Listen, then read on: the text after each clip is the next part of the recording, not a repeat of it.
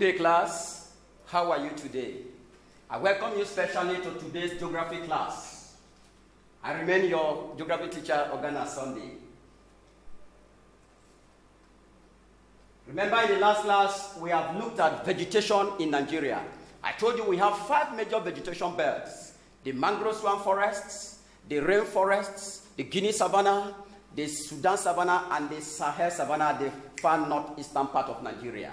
And many more like that we considered in the last class. For today's class, we are taking another revision class. We are looking at longitude and time. How to calculate local time of a place. By the end of the class, you should be able to examine the steps involved in calculating the local time. Number two, you should be able to calculate the local time of a given place. And lastly, you should be able to calculate the local time of that is places in different uh, direction and places in the same direction. This is what we are going to look at today.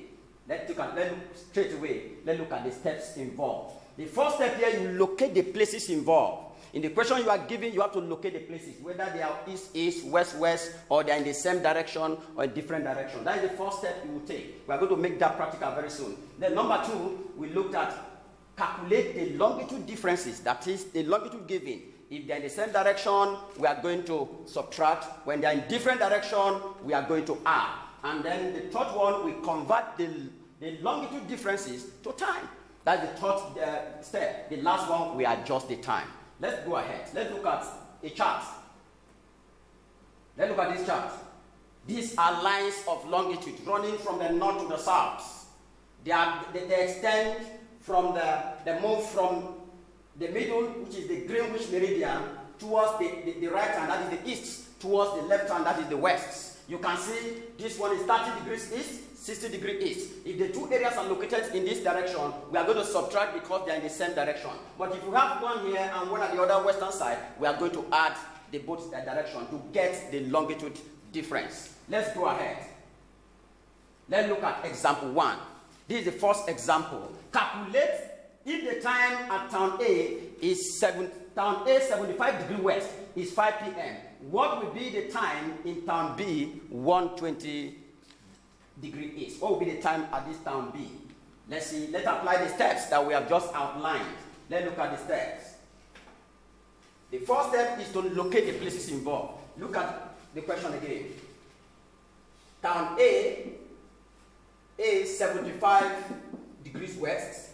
Then B, the town B, we said it was 120 degrees east. These are the two towns. The time of town A was given to be 5 p.m. While the time of this place was not given. You put a question mark and you draw an arrow to show that the time of the town, the other town, was not given. Now, this is your step one. You locate the place involved. Let's look at step two. In step two, calculate the longitude differences. Now look at the difference between this one and this in terms of longitude. Since they are in different direction, we are going to add. If they are in the same direction, we subtract. Now let's look at this. With this one here, we have 120 degrees plus 75 degrees. Here we are going to have 195 degrees. That is step two. You are done with that step two. Let's take the third one. The third step, which is step, step three, we, we convert the longitude differences to time by dividing by 15 because the earth rotates through 15 degrees in one hour. 15 degrees in one hour. Therefore, you're going to divide the given uh, longitude differences by 15. That's why you're going to have 195 divided by 15. That will give you 13 hours. Now, this is step three. Now you go to the last step, which is the step four. You convert the time. Step four. You convert, you convert this one to time. You calculate, you adjust the time, I mean, you adjust the time. Since the arrow was pointing to the right, you are going to add the calculated hours to the given time. But as soon as it was pointing to the left, you are going to subtract for the given time. So simply, finally, we look at this. That is 5 p.m. plus 13 hours. The time in the other location will be, that will be 6 p.m. next day. It's always advisable to use a clock to, to do the addition. When you draw your clock, you have your 6. You can do that on your own.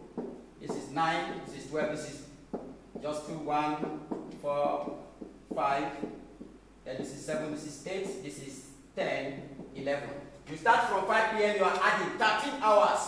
1, 2, 3, 4, 5, 6, 7, 8, 9, 10, 11, 12, 13. You know, you are in 6 p.m. because you have crossed 12. 6 p.m. already. So the time will be 6 p.m. next day. Hope that is clear. So by next class, we are going to look at how to calculate uh, local time or places in uh, the same direction.